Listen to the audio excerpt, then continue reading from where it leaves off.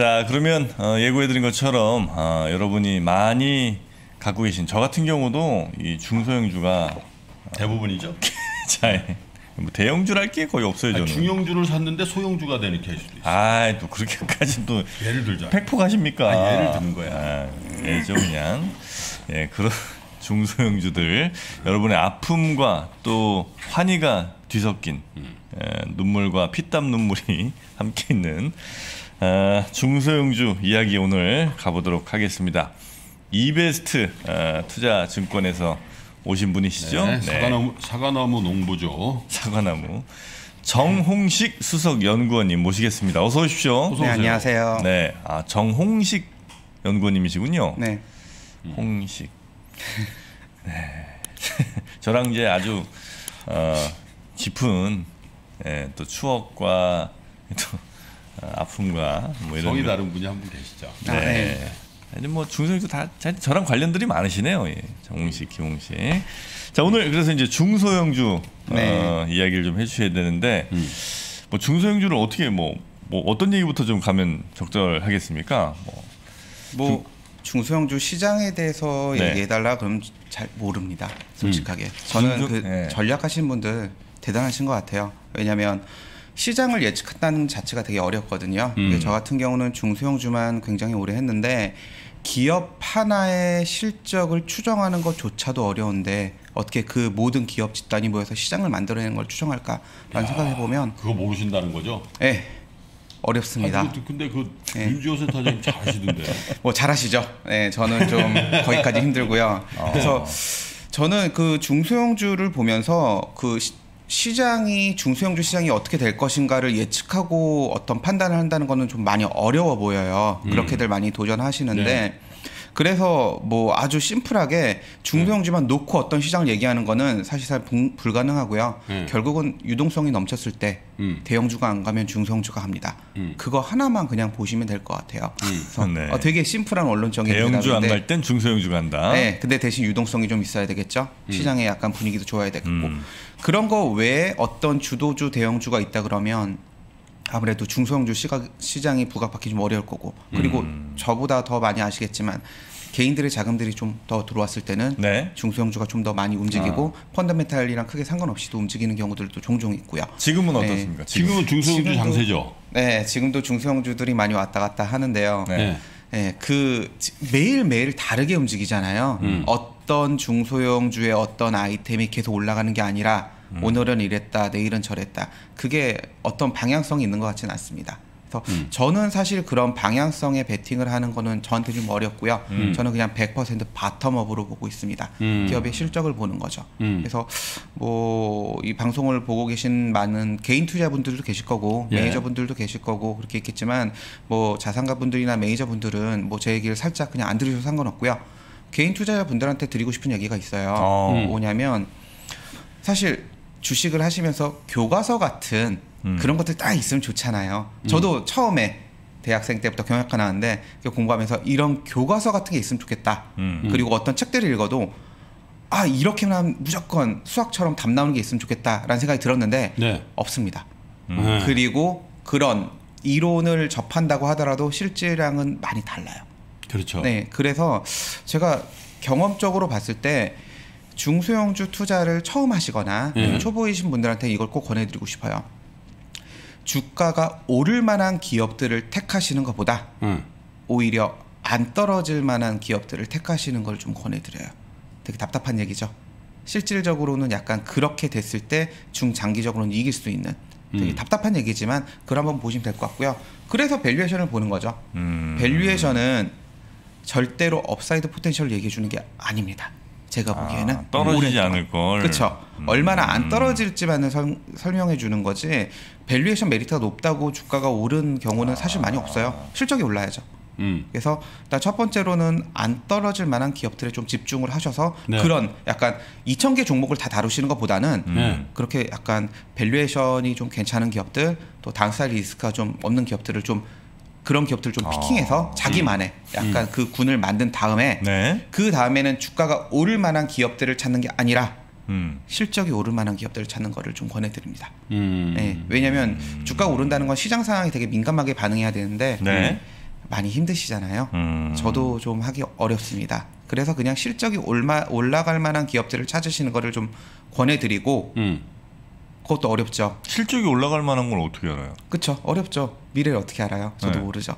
그래서 저는 그냥 아주 간단히 이렇게 말씀드리고 싶어요. 실적이 음. 올랐는데 음. 주가가 안 오른 기업들. 어. 그리고 그 실적이 올랐, 올랐으면 음. 왜 올랐는지를 저희가 분석할 수는 있잖아요. 네. 그렇죠. 공부를 할 수는 있습니다. 음. 왜 올랐지? 그러니까 과거의 일이 왜 그런지를 파악할 수 있잖아요. 음. 그렇죠.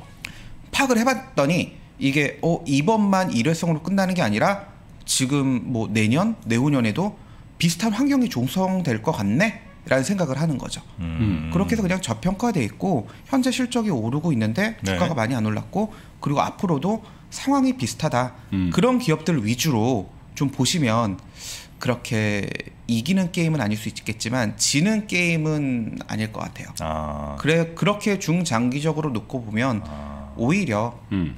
좀 괜찮지 않을까라는 아, 그렇게 뭐 되게 가면 그- 답답한 얘긴데요. 네. 네. 근데 아 근데 이걸 되게 권- 종목 좋은 걸 싶어요. 많이 저 내신단 말이에요. 네. 작년에도 막 기억나는 게 뭐 몇 개 있었어요. 뭐 동국제약인가. 네. 그거 그런 기업도 그렇- 사과나 사과나무였잖아요. 그거 네 서흥 쪽 서흥, 네, 그래. 서흥도 사과나무 성이라는 게 캡슐 만드는 데죠. 네 맞습니다. 네, 그런 내가 기억이 나요. 무슨 네. 캡슐이요? 아니 왜 약 먹으면 네 하드 캡슐 아. 콘, 콘택 600 하면 거기 아, 그. 그 캡슐 있잖아. 네. 몸에서 녹는 캡슐. 콘택 600이라는 그 안에 가루 들어 있는 거예요. 콘택 콘택 600 이라고 따면 아시나요? 안에 가루 네, 들어 네. 있는 거예요. 정프로? 네? 콘택 600? 알죠? 아 콘택 600 안, 아는구나. 콘택 600을 어떻게 몰라요? 예, 콘- 난다 그거 먹었었어. 콘택 한 800쯤 나오지 않았나 이제? 아 그런가? 네. 음, 그 캡슐 그죠? 네. 그런 류에 이제 딱 가서 보니까 근데 그런 건 탐방 가서 알게 되네 그죠? 전 제가 커버하는 기업의 한 반 정도가 네. 기업 IR 미팅을 잘 안 해주는 기업들이 많이 있어요. 음. 그렇기 때문에 저평가돼 있겠죠.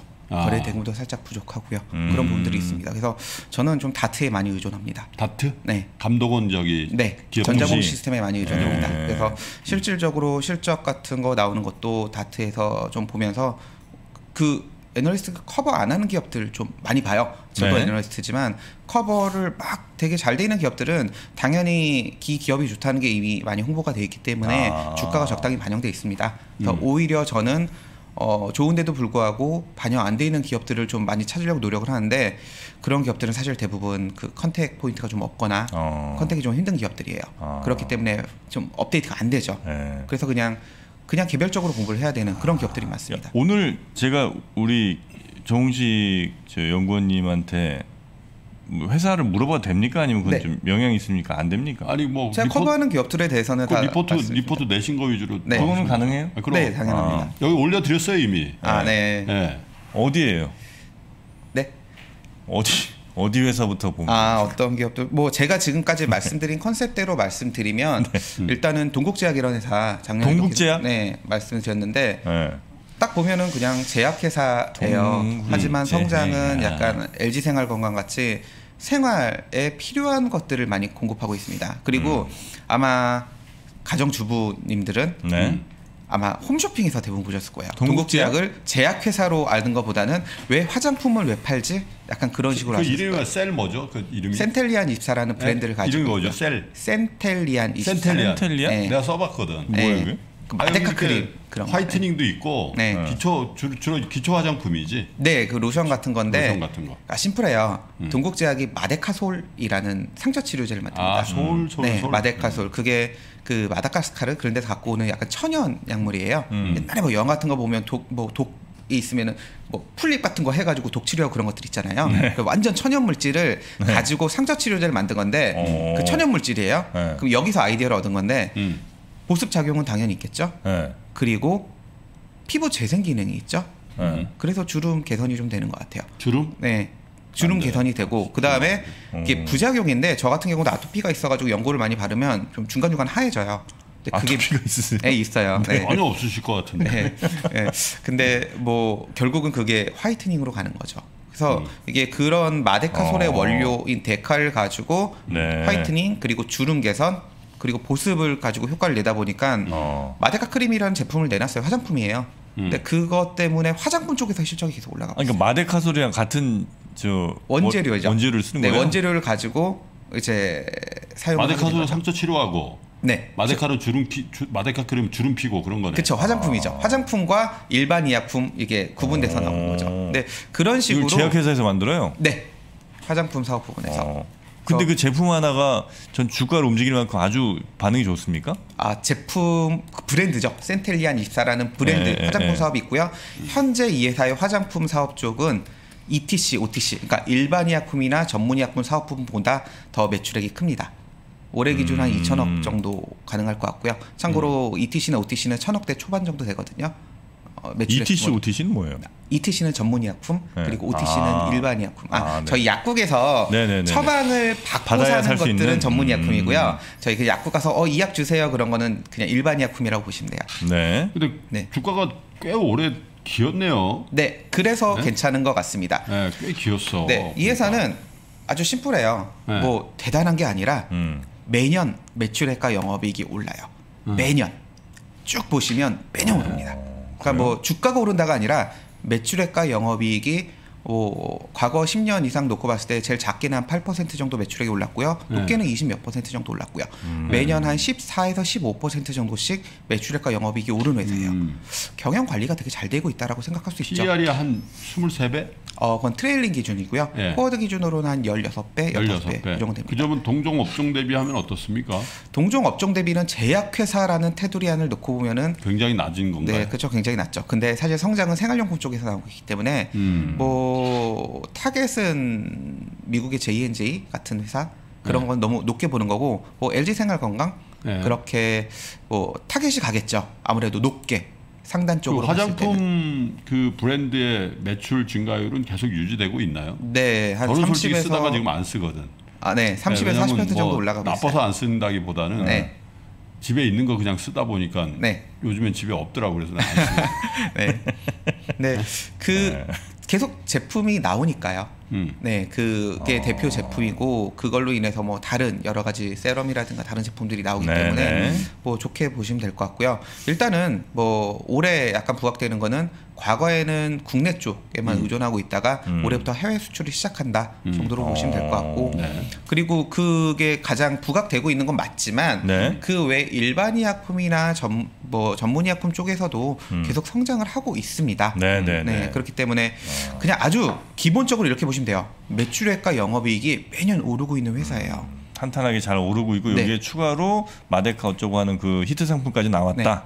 그 그거는 사실 예전에 2015년에 나와서 지금까지도 꾸준히 계속 아, 올라가고 그래요? 있다라고 음. 보시면 될 것 같고 제가 보고 있는 관점이 이렇게 매년 성장하는 회사가 주가가 되게 오랫동안 쉬었어요. 음. 그래서 괜찮아 보입니다. 당장 뭐 제 어제 coverage 종목이니까 시- 리포트에 다 나와 있고요. 2분기 뭐 매출액 기준으로는 최대 매출액 나올 것 같고요. 음. 영업이익 성장률도 20% 이상 높게 성장률이 나올 것 같은데 주가는 계속 쉬고 있어요. 아. 왜냐하면 이런 유의 기업들은 주가가 계속 오르는 게 아니라 한번 쫙 올랐다가 쉬어주고요. 아. 올랐다가 쉬어주고 좀 그런 부분들이 있어요. 네, 그래서 네. 그리고요. 뭐 네. 동, 또. 동제약만 얘기하면 네, 그러니까. 다른 네. 다른 뭐 삼영전자라는 회사 하나 말씀드릴게요. 삼영전자. 삼영전자. 삼영 네, 생소하시죠. 그러니까 네, 동국제약도 약간 뭐 생소하실 수 있는데 삼영전자 그런 회사 생- 생소하실 수 있는데 음. 우리나라에 전핵 콘덴서 네. 제- 죄송합니다. 이거 네. 말씀하시는데 네. 저랑 김프로님이랑 둘이 같이 막 이렇게 타자치고 삼영전자. 네. 그러니까 저는 약간 이렇게 인기가 많은 것들보다는 인기가 없어야 사실 저평가돼 있어요. 네. 네, 그래서 그런 기업들을 좀 발굴하려고 노력을 하는데 음. 삼영전자라는 회사는 우리나라 삼화전기라는 회사랑 더불어서 음. 딱두 개 있는 전액 콘덴서 회사입니다. 콘덴서. 네, 콘덴서인데 아시다시피 음. MLCC라는 세라믹 콘덴서는 주로 휴대폰이나 태블릿, 노트북에 들어가죠. 네. 네, 반도체 기반으로 만들어요. 음. 네, 전액 콘덴서는 알루미늄 포일 감아가지고 화학적 방법으로 만듭니다. 음. 좀 용량이 커요. 음. 그리고 전압을 많이 버틸 수 있고 뭐 내구성이 오래 갑니다. 음. 주로 가전에 사용되는 수동 부품입니다. 음. 그래서 그냥 실적은 뭐 고만고만하게 되게 재미없게 나오고 있는 회사인데 원래는 네 그런 회사인데 제가 왜 이 회사를 보냐면 가치적인 측면에서 네. 주가 upside potential보다는 이 회사에 갖고 있는 통장 잔고 주당 순현금을 아 그 통장 잔고 있죠. 그걸 주식수로 나누면 주당 순현금이 나오죠. 네. 그게 13,200원이에요. 네. 현재 주가 보시면 그거보다 낮을 겁니다. 무슨 얘기냐면 12,900원인데. 네. 네. 아니 그러니까 현금 순현금 순현금. 네 그러니까 자산 부채 퉁쳐가지고 네, 순현금이죠. 그러니까 현금성 자산에서 이자 지급성 부채만 빼준 거죠. 아 자산 중에서도 현금성 자산만 네. 그게 이거 그냥 통장에서 바로 인출하면 그. 돈을 주, 그 주수로 나눈 게 이제 네, 그, 주당 순현금으로 놓고 봤을 때 13,200원이고 현재 주가 12,900원. 아 근데 이게 작년 3월 달에 5,800원까지 갔는데 그때도 현금 많았을 거 아니에요? 그렇죠. 그때부터 계속 외쳤죠. 이거는 너무 싸다. 가치적인 측면에서 말이 안 되는 거죠. 그때 이것도 사과나무였나요? 아니요, 이건 사과나무 땐 전 서흥 하나만 썼고요. 음. 네, 다른 것들은 계속 coverage 가져가고 있습니다. 그러니까 일단 valuation 메리트가 굉장히 높다라는 거예요. PBR 음. 0.5배에 주당 순현금보다 낮은 회사인데, 근데 물론 이렇게 valuation 메리트가 높다고 해서 주가가 오르진 않아요. 네, 네. 아마 실적 보시면 아시겠지만 제가 월보에도 54페이지 적어놨는데 어, 일단은 2019년 대비 2020년에 영업이익이 두 배가 올랐고요. 올해도 한 60%에서 80% 정도 영업이익이 오를 것 같습니다. 매출은 그렇게 늘지 않는데 영업이익률 왜 이렇게 늘어요? 네, 그 부분이 재밌는데 전액 콘덴서라고 함은 그냥 기존의 가전에서 굉장히 많이 쓰였던 건데 네. 최근에 자동차와 반도체 쪽에 많이 들어가고 있습니다. 이게 음. 신 영역으로 들어가고 있는 거죠. 네. 네, 점점 하이엔드화 되면서 왜냐하면 자동차 같은 경우도 음. 어, 일반 가솔린 차나 아니면 디젤 차 이런 내연기관 차보다 하이브리드카 그리고 전기차로 가면 많아- 전액 콘덴서가 많아지게? 많이 들어갈 수밖에 없어요. 그러겠네요. 근데 그쪽에 대한 비중이 올라가면서 음. 수익성이 개선되고 이것 네. 때문에 영업이익이 많이 올라가고 있습니다. 음. 네, 그래서 그런 현상이 하나 있고요. 또 하나는 올해 상황이 좀 너무 좋아요.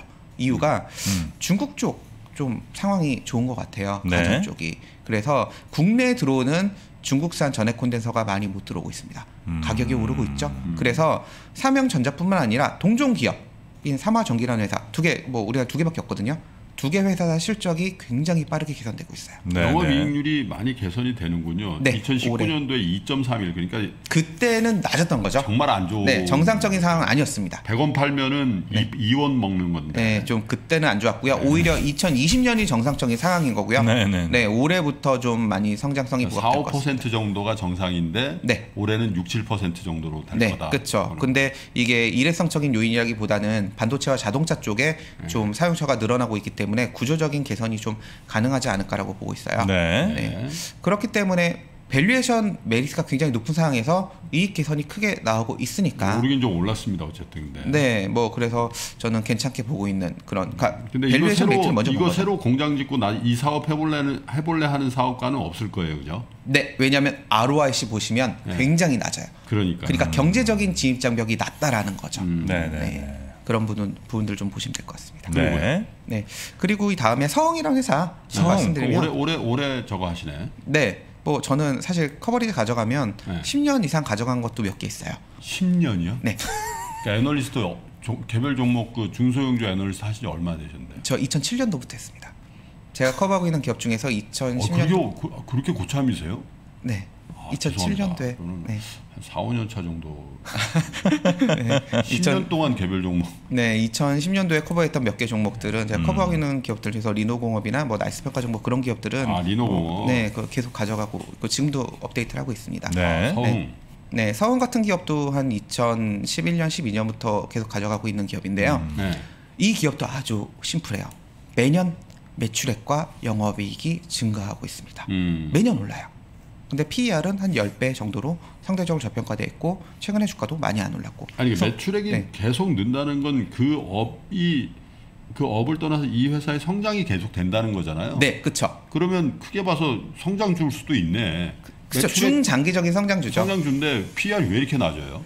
어 이거는 여러 가지 상황들이 있는데요. 일단은 가지고 있는 보유 기관들이 네. 이게 아시잖아요. 몇 군데 기관이 이렇게 많이 들고 아. 있으면 이게 다른 기관에서 안 사요. 그런 경우도 좀 있어요. 이런데? 네, 네. 좀 그래서 좀 그런 특성도 좀 있어서 펀드 매니저분들도 어, 이 회사는 좋은데 아, 이렇게 손이 안 나가 그러신 분들도 꽤 있습니다. 근데 음. 저는 펀더멘탈만 말씀드리면 매년 실적이 올라요. 근데 음. 두 가지 크게 보시면 돼요. 첫 번째는 하드 캡슐 말 그대로 안에 가루 들어있는 거 네. 이제 녹이면은 이제 안에 가루 들어가 있는 건데 음. 매년 오릅니다. 국내 거의 음. 독점적 생산이고요. 음. 글로벌리하게도 한 3위 정도 되는 위치에 있어요. 아, 서흥이 네. 근데 올해 상황이 많이 좋을 거예요.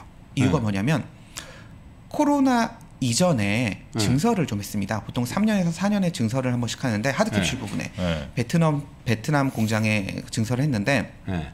증설 이후에 코로나가 터진 거예요. 그래서 유럽과 인도에 있는 경쟁 회사들이 공장 가동이 좀 힘들어져서 어. 음. 이제 그쪽에 갔던 고객사들이 서흥한테 주문을 했습니다. 음. 근데 아무래도 이게 경영 전략인 것 같은데 주문이 자연스럽게 그냥 넘어온 걸 받은 게 아니라 음. 프로모션이 들어갔어요. 아, 그래서 또- 장기 공급 계약으로 다 바꿨어요. 아 뽑아 올라고 네. 마켓을 확 늘려버리자. 그쵸? 그러니까 그래서 음. 오히려 작년에 2020년 상황이 좋았음에도 불구하고 음. 가격이 한 번도 안 떨어졌거든요. 음. ASP가 계속 오르고 있던 하드캡슐 쪽이 사업이 그런데 음. 어, 이게 작년에 일시적으로 10% 떨어졌어요. 음. 프로모션 때문에. 프로모션에서. 네, 네, 이거 올해 다 정상화돼요.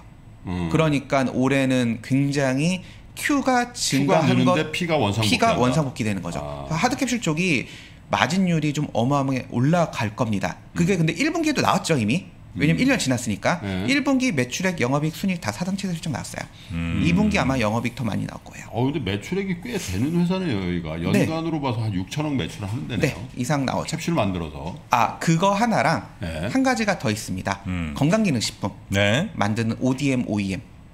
그 뭐냐면 콜마비앤에이치, 성, 노바렉스, 코스맥스 NBT 그 만들어주는 거 회사예요. 브랜드 음. 없이. 음. 그래서 그렇게 건강기능식품을 제조 전담을 하고 있는 건데 건강기능식품이 계속 성장하니까 같이 좋아지고 있다라고 보시면 될 것 같아요. 어. 하여튼 서흥. 어흥. 어흥. 아, 수준이 비슷한가 이제 봐요. 점점 생각하는 게 비슷해지고 있는 것 같아요. 네. 또 있어요? 어 뭐 최근에 좀 주가가 괜찮아 보이는 건 정상 JLS라는 교육주가 있는데요. 아 그거. 네, 근데 네. 교육주는 이거 말고 프리미엄 교육주라고 부르는, 부르는 보통 비싼 그 영어 language school이나 수학 교육이나 그런 기, 기업 들이 실적이 다 좋아요. 네. 최근에 이유는 코로나 이후에 오히려 그런 프리미엄 교육주 학생 수가 증가하고 있습니다. 음. 네, 그래서 그런 쪽으로도 좀 좋게 보고 있는데 이미 주가가 좀 많이 오르긴 했어요. 근데 배당 메리트가 높기 때문에 음. 한번 정도 체크해 하셔서 배당주로서 네 보셔도 괜찮지 않을까라는 이건 뭐, 생각이 뭐, 듭니다. 뭐 뭐 에 특화되어 있는 학원? 학- 영어 학원이에요. 영어입니까? 네, 랭귀지 스쿨이에요. 음. 그래서 뭐 요즘에는 교육주들이 많이 오르고 있어요. 재밌게도. 네. 왜냐하면 사교육에 다시 집중한 현상이 있을지도 모르겠고요. 음. 그리고 또 하나는 사교, 국내 사교육비 총액이 거의 매년 오르다가 작년에 좀 떨어졌거든요. 이유는 코로나 때문에 다들 학원 가지 말라고 음. 약간 그렇게 인식이 있었죠. 음. 올해 다시 약간 contact 개념으로 이렇게 보고 있는 것 같습니다. 음. 네. 좀뭐 괜찮지 전에 않을까라고 보고 한번 들어, 있습니다. 들었던 것 같아요. 정상 JLS는 굉장히 그 배당 대비하면 배당이 대- 높죠. 그때 최준철 대표가 한번 얘기했었잖아. 방송에서. 아, 한번 그랬나요? 네. 아. DPS를 고정시켜놔요 거의. 네네. 그래서 배당 수익률이 과거 10년 평균 6% 정도예요. 음. 그러니까 저는 예금 넣는 것보다는 좀 더 메리트 있지 않나? 약간 그 정도로 음. 보고 있습니다. 음. 근데 사교육 시장이라는 게 거기도 뭐 일타 강사 움직이고 막 그러면 아 거기는 음. 메가스터디 교육이나 그렇게 일타 강사나 그렇게 대규모로 그렇게 하는 곳은 아니고요. 여기는요? 음. language school이에요. 그러니까 한 교실 안에서 오프라인 중심입니다. 네. 그러니까 일타 강사는 사실 온라인 쪽으로 이렇게 그렇죠. 중심으로 하거나 아니면 대규모로 네. 이제 몇백 명 모아놓고 오프라인에서 하겠죠. 근데 거기는 이제 아이들 한 10명 정도 모아놓고 음. 이제 랭귀지 스쿨이에요. 아 그렇게 동네마다 다 있는. 동네 그 공부 잘하는 동네 있어요. 네. 네. 공부 잘하는 동네에 학원비가 그래도 좀 다른 음. 비싸요? 데보다는 좀 비싸니까 음. 그래서 그런 유의 학원들이 몇 군데 있습니다. 음. 상장돼 있는 회사 다른 데도 있어요. 다 같이 실적이 좋아요 현재. 왜냐면 학생 수가 많이 올라가 있어요. 음, 정상 JLS. 네. 아, 나 정상 그러면 별로 이미지가 이렇게. 예. 옛날에 그, 저 친구란 영화 보면 네. 친구야 뭐야? 그 친구 있잖아. 장동건? 유호성? 말고 그 부산에서 그 있는 바람이라고 있어 바람. 바람? 네, 바람이라는 영화 있어요. 네.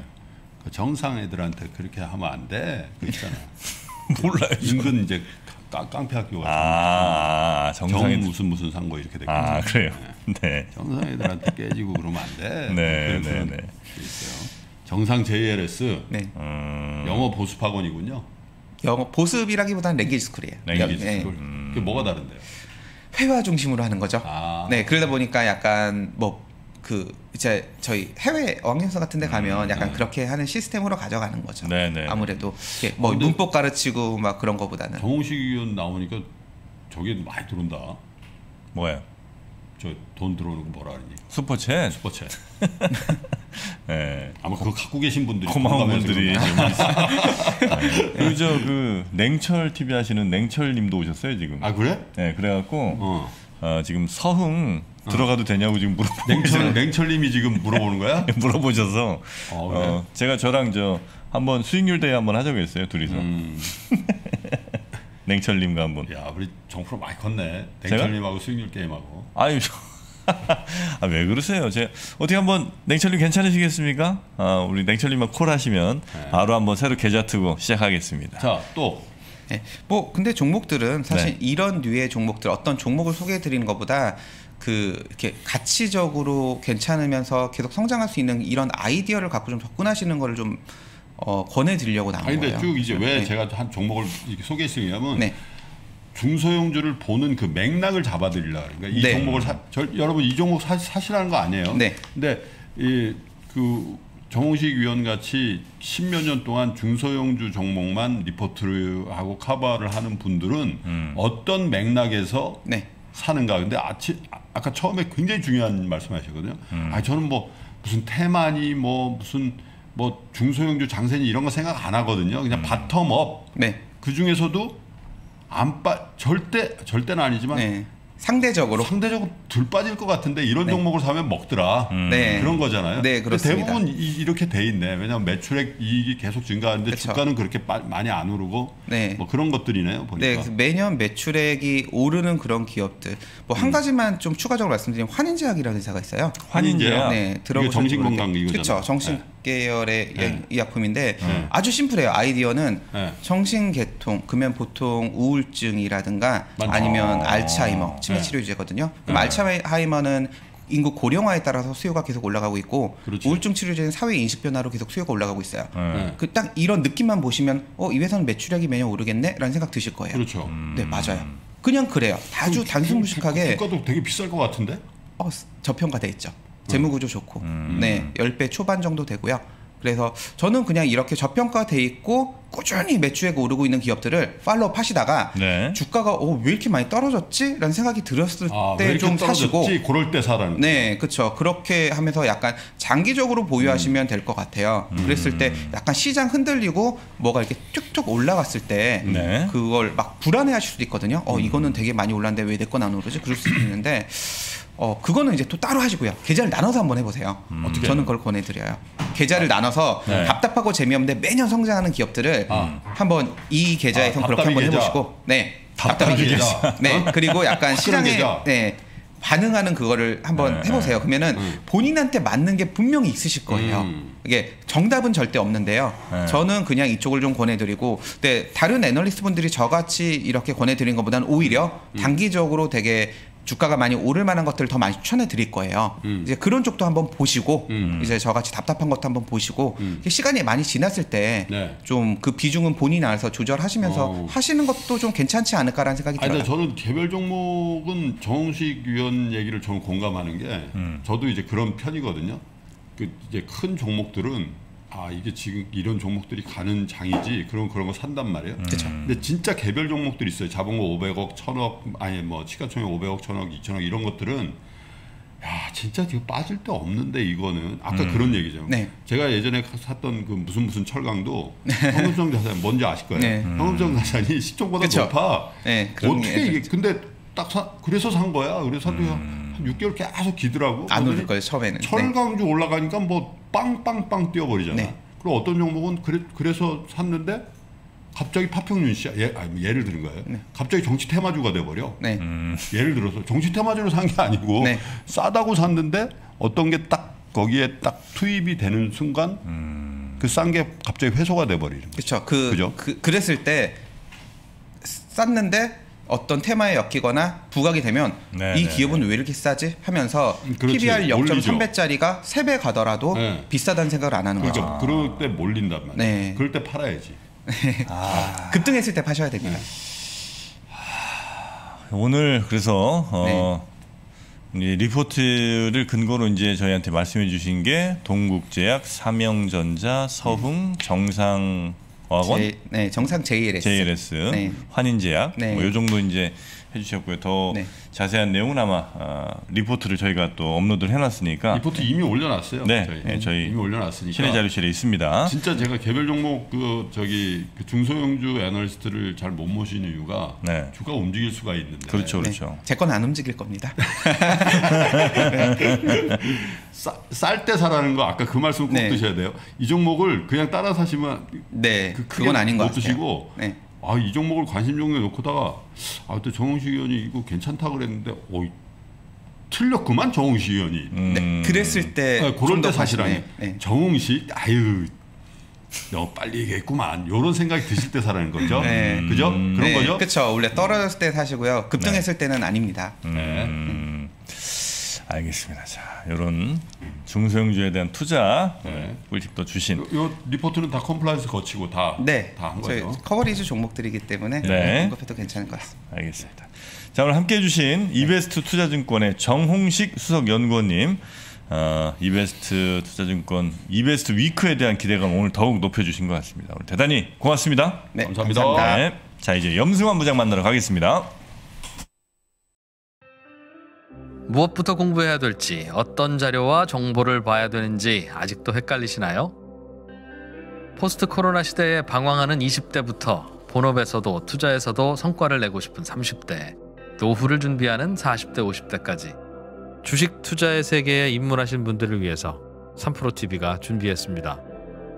3프로TV 주식대학 봄학기 초보 투자자들의 멘토 연블리의 친절한 주식 기초 교육 어떤 기업이 돈을 잘 벌고 있는지 확인하는 법부터 증권사 리포트, 기술적 분석을 통해서 수익을 내는 법까지 염블리, 염승원 부장과 함께 한 발자국씩 나아가면서 평생 투자의 기초를 탄탄하게 다지는 시간이 될 겁니다. 3프로TV가 염블리의 친절한 주식 기초 교육과 함께 여러분의 성공 투자를 응원하겠습니다. 영상 아래 링크를 통해서 강의를 신청하실 수 있습니다.